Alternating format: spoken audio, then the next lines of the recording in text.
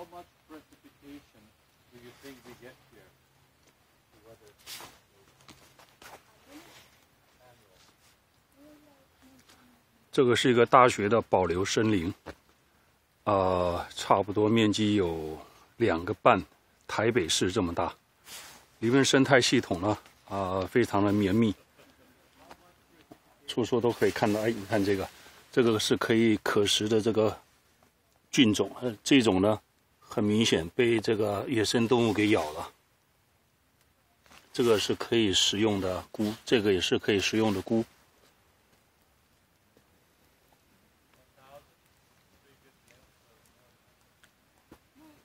这个森林在一八七八年发生过一次火灾，然后进入一九零零年，就是二十世纪啊、开始这个伐木。啊，当然现在已经不伐木了。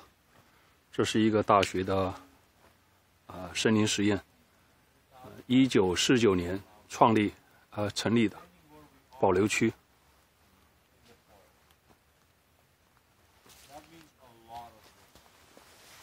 这种也是可以使用的。